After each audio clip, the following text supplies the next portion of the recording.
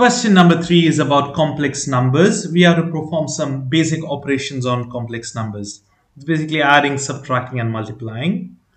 Look, here it's very simple. It's just to add. What happens? Make sure you realize that i and the number cannot be added up together. This is a complex number in the sense there is a real part and an imaginary part.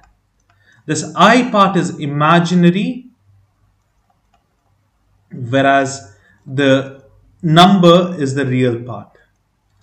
This together is called complex number but whenever you solve the real part is solved with real part whereas the imaginary with imaginary part. Now so how do you solve it up?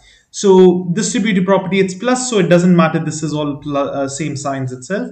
Here 6 plus 4 will be done separately and the i parts will be done separately as well i minus pi i so what would be the answer it would be 10 and what is this 10 sorry I forgot to write the plus sign here this is very important see it's 6 plus 4 plus i minus 5i okay so it's 10 plus it will be minus now because y 5 minus 5i minus i will be 4i. So this would be the answer. Let's take one more problem. What about this one? Last one. Minus 4 plus 6 and you will have plus 2i minus 3i. Solve it up. It will be 2, 2 minus i. That's it. 1i is 2i. Now when it's minus, make sure you multiply this sign as a distributive property and both these terms becomes minus okay so that's the that's it the answers are very easy simple answers we have got the same answers and again over here the same thing. It's just minus. Now okay this one changes. What's the change over there? It's multiplication. For multiplication you must remember something called FOIL's method. I'm sure you all know this. First terms multiply here and this and this. So what happens is 2 times 3 is 6 2 minus plus is minus 2i plus 3i minus i times i is i squared. Now what is uh, this part and this part you can simplify. It will be 6 minus sorry plus i. That's it. What is i squared? We know i is equal to square root of negative 1 square both the sides. I is equal to minus 1 itself. Sorry um, i squared. Okay i squared is minus 1 now here we have minus of minus 1 so this becomes i plus 1 and we have 6 at the left side. So add them up it will be 7 plus i. This would be the final answer. Just by FOIL method simplification and then solving for it. This is plus i hope you understand this is plus sign. Okay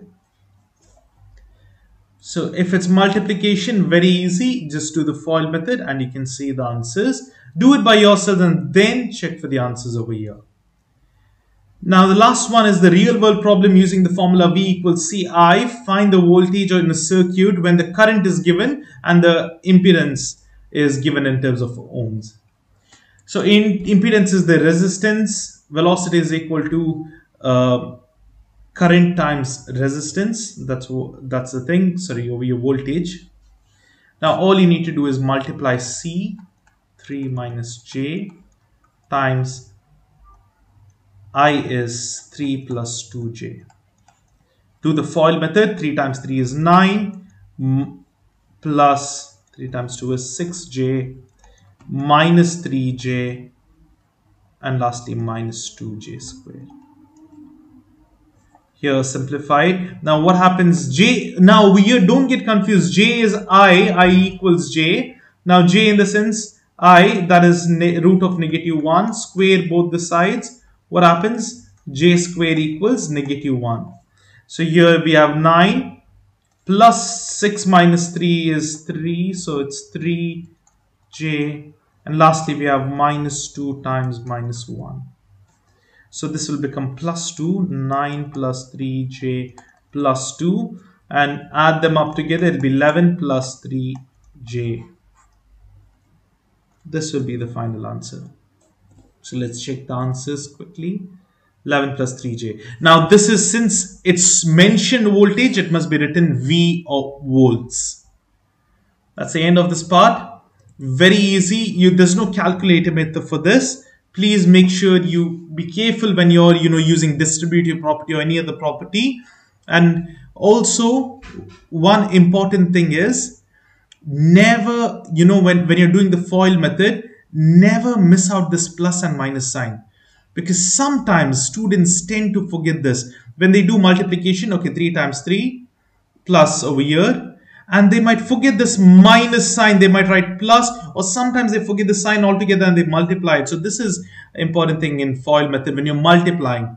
If it's adding and subtracting it's very very straightforward and easy. Just be careful when you're multiplying the imaginary uh, sorry the complex numbers